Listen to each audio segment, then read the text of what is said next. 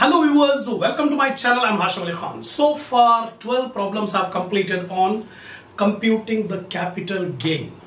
In this video, I'm starting from 13. Few more problems I'm going to explain in this video. So all the problems on capital gain are based on the theory. So before starting, before watching the problem, you must watch all the theory videos. To be acquainted with the provisions of Income Tax Act 1961, how to compute the income from capital gain. So far we have done the problems on long-term capital gain. But in this video I'm going to explain you how to compute the short-term capital gain. So before starting the 13th problem, I expect my viewers to have a printout of the problems which I have given in the link under my description. Take the screenshot of the points then I'll explain.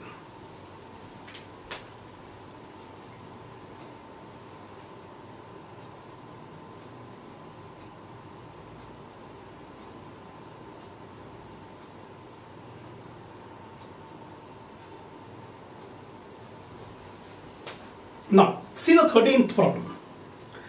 During the previous year relevant to the current assessment year, Srimati Swapna sold the following assets. Compute the income from capital gain and tax liability if income under other heads uh, is nil for the current assessment year. The particulars, three assets are given. That is uh, uh, house let out for commercial purpose, open land in city and gold. All the three are capital assets and gain arising will be capital gain, taxable. Date of purchase 21st March 1999. It is sold during the current previous year 21-22. So it's a long-term capital asset, long-term capital gain. Open land in city which was purchased on 1st May 2005. Now it is sold in 21-22. So again long-term. Then purchase the gold on 4th May 2009. Again sold during the current year. So when all the assets are held for more than 3 years, then the gain arising will be long-term capital gain. Date of sale 13th January 2022. Our current previous year is 21-22. So during the current previous year all the three assets are sold. Purchase price, sale price are given, transfer expenses are given 0.5%, 1%, 2%.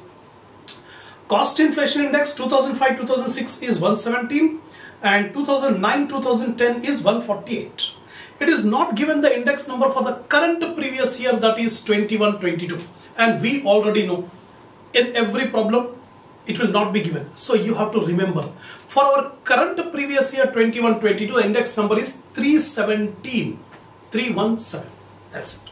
Now see carefully Srimati Swapna computation of long-term capital gain for the assessment year 22-23 house land gold. Consideration received. This is the sale price so sale price is given 26 lakh, 20 lakh, 85,000, 3 lakh. Selling expenses, transfer expenses are 0.5%, 1% and 2% on the sale price. So 0.5% of 26 lakh, 13,000. 1% of 20 lakh 85,000, 20,850. 2% of 3 lakh, 6,000. Deduct, will get net consideration. From net consideration, we deduct the indexed cost of acquisition. So actual purchase price is 10 lakh 10,000 into current previous year is 317 and the index number for the purchase year. Already we have discussed in the previous video if the asset is purchased before 1 4 2001 then the index number will be taken as 100 because we have the index number only from 2001 and 2001 2002 before 2001 2002 we don't have. So any asset purchased before 2001 2002 we have to take it as 100 so 317 by 100 will get 32 lakh 1700. Land 5 lakh 85,000 is the purchase price. Current year index 317 divided by purchase year index 117. Similarly gold 384 38,480 into current year previous previous year index 317 purchase year index 148. So these are bracket. Bracket denotes subtraction. So after deducting indexed cost of acquisition, we get long-term capital gain or loss. If you get in negative figure, it's a loss. Positive is profit. So here one negative. 25 lakh 87,000 minus 32 lakh 1,700. You are getting negative. 6 lakh 14,700 negative long-term capital loss. Here positive, here positive. So two long-term capital gain and one long-term capital loss. According to the provisions of Income Tax Act, long-term capital loss can be set off from long-term capital gain. So we add up LTCG on open land, LTCG on gold. These two LTCG we have added. From this deduct the long-term capital loss. The long-term capital loss 6 lakh 14 So after deducting long-term capital gain 76,030. Now in the problem it is given that the associate does not have any other income. So only income is long-term capital gain. The basic exemption limit is 2 lakh 50,000 and the total income is below 2 lakh 50,000. So there is no tax liability. The tax liability is nil because the income is below the basic exemption limit. That's it. This is the end of problem number 13. Now see the 14th problem. During the previous year relevant to the current assessment year, Mr. Quick purchased a house for 4 lakh 20,000 and after 12 months he sold the same for 4 lakh 80,000. Then brokerage paid to purchase the house 10,000 and to sell the house 18,000. Calculate the capital gain. When the house, when the uh, I mean building, land, building or both, if the assessee hold for two years or more, then it is a long-term capital gain. If it is sold within two years, it is called short-term capital gain. The first time we are coming across a building which is sold after 12 months, immediately after 12 months. That means the gain arising will be a short-term capital gain. So in working note, you should write down the assessee held the building for less than two years. So the gain arising is a short-term capital gain. And short-term capital gain is taxed at slab basis along with other incomes. Right?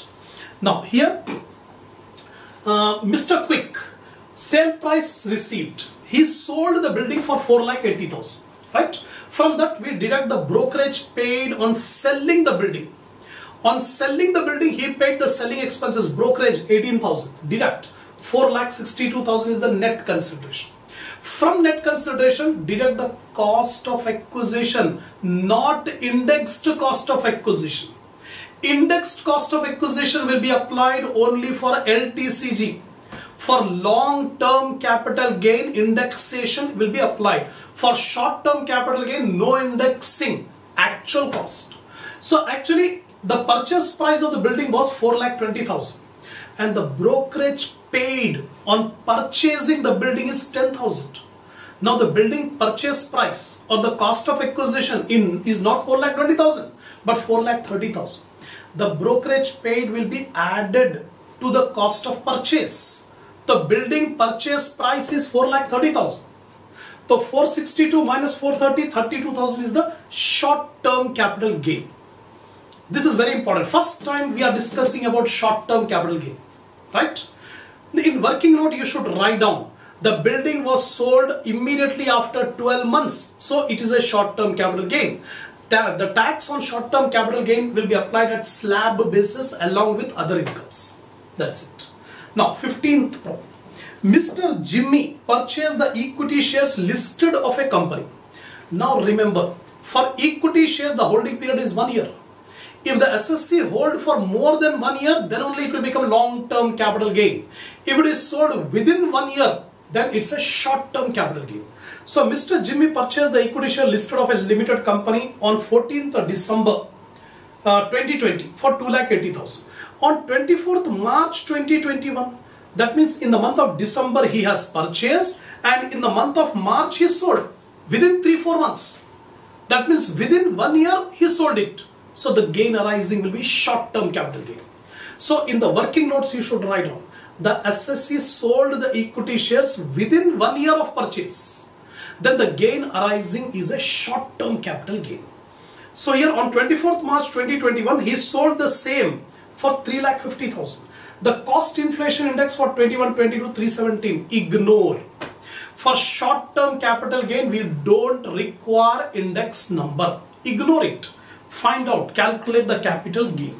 So Mr. Jimmy's sale price received 3 lakh 50,000, no selling expenses. So net consideration 3 lakh 50,000, purchase price 280, the short term capital gain 70,000. That's it.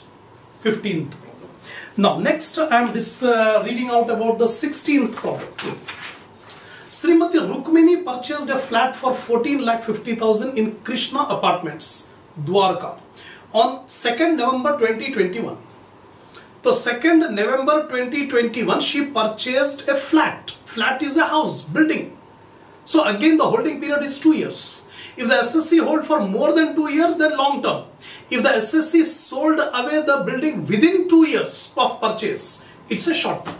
She has purchased on 2nd November 2021. She sold the same to Radha on 3rd July 2021. Then for rupees uh, 16 lakh selling expenses. Actually there is a printing mistake there. 2nd November 2020. She has purchased on 2nd November 2020. She sold the same to Radha on 3rd July 2021 for 16 lakh. The selling expenses were 11,000. Cost inflation index we don't require because it's a short term capital gain. Compute income from capital gain for the current assessment year. So here uh, Srimati Rukmini consideration received 16 lakh, selling expenses 11,000, net consideration 1589, cost of acquisition 14 lakh 50,000, short term capital gain is 1 lakh 39,000. This is the end of 16th problem. Now 17th, Mr. Deepak Agarwal purchased a machinery for business purpose whose written down value at the beginning of the previous year is 17 lakh 25,000. During the previous year, he sold it for rupees 21 lakh 40,000 and selling expenses 11,200. Calculate capital gain. It's a different problem. According to the provisions of Income Tax Act, if a depreciable asset which is used in the business is sold, then the gain arising always will be short-term capital gain irrespective of the period of holding. Even if the business hold the asset for 50 years, doesn't matter. The sale, the gain will be short-term capital gain. Provided two conditions are given. The asset must be used in the business and the asset should be a depreciable asset on which depreciation is allowed by Income Tax Act. Machinery is a depreciable asset. Machinery is being used in the business. So gain arising on sale of machinery will be a short-term capital gain. So how to compute the short-term capital gain? Sri Deepak Agarwal, sale consideration 21 lakh 40,000, selling price. Minus selling expenses 11,200, deduct. Net consideration 21 lakh 28,800. From that, we are not deducting cost of purchase. We have to deduct the book value. What is the written down value at the beginning of the year? The written down value at the beginning of the year was 17 lakh 25,000. Deduct. We'll get 4 lakh 3,800 this is the short term capital gain. So after computing this in working note you should write down according to the provisions of income tax law any depreciable asset which is used in the business is sold away. The gain arising will always be short term capital gain irrespective of the period of holding. That's it. Next 18th problem uh, Mr. Mohan Raju of 84 years. 84 years means super senior citizen. His basic exemption limit is 5 lakh.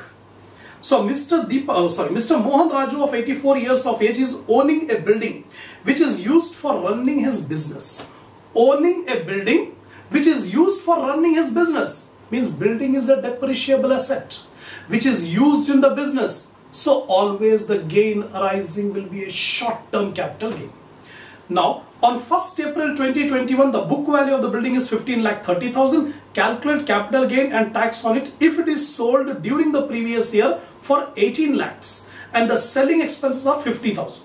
Income from other heads are 3 crore 14 lakh 20,000. Huge amount. So he's having huge amount of other income. Apart from that, he sold the building which is used in the business. So whatever gain arising on the sale of the building will be a short-term capital gain. Now, sale consideration received of the building 18 lakh, selling expenses paid 50,000. So 17 lakh 50,000 net consideration. From that deduct the book value of the building 15 lakh 30,000. The short term capital gain is 2 lakh 20,000 from the sale of the building. That's it. Now income under other heads is 3 crore 14 lakh 20,000. The assessee is a super senior citizen, so the basic exemption limit is 5 lakh. That you have to remember because the age is 80 years. If an assessee's age is 80 or over, he will be called super senior citizen. The basic exemption limit 5 lakh.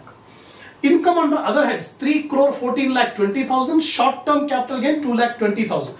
So total normal income will be 3 crore 16 lakh 40,000.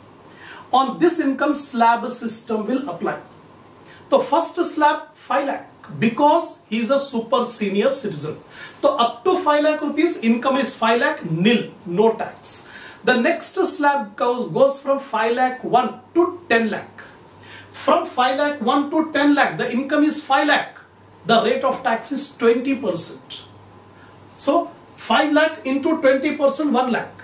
Next slab will be the balance over 10 lakh the rate of tax is 30%. Now the total income is 3 crore 16 lakh 40,000. From 3 crore 16 lakh 40,000 deduct the first two slabs 10 lakh. Deduct 10 lakh. So remaining 3 crore 6 lakh 40,000. On this the tax rate is 30%. 30% if you calculate 9 lakh uh, 91 lakh 92,000. 91 lakh 92,000 plus 1 lakh so 92 lakh 92,000 is the basic tax. 91 lakh 92 lakh 92,000. That's the total tax on normal income. Now we have to add a surcharge. This is the first time we are we are adding surcharge. Previous problem surcharge was not there. Remember, surcharge will be added if the income exceeds 50 lakh. If the income exceeds 50 lakh, different rates of surcharge are there 10%, 15%, 25%. But right now remember one point if the total income exceeds 3 crore up to 5 crore it is more than 3 crore but up to 5 crore the surcharge rate is 25% note it down write it down immediately. If the income is more than 3 crore all these points I have discussed in the starting video when we, when we have started the subject income tax, in the beginning, exemption rules. On this exemption rules, I have explained about this surcharge. So if the income exceeds 3 crore up to 5 crore, then surcharge will be at the rate of 25%. Here the income is more than 3, 3 crore. More than 3 crore, but below 5 crore. So surcharge 25%. So 25% of 92, 92.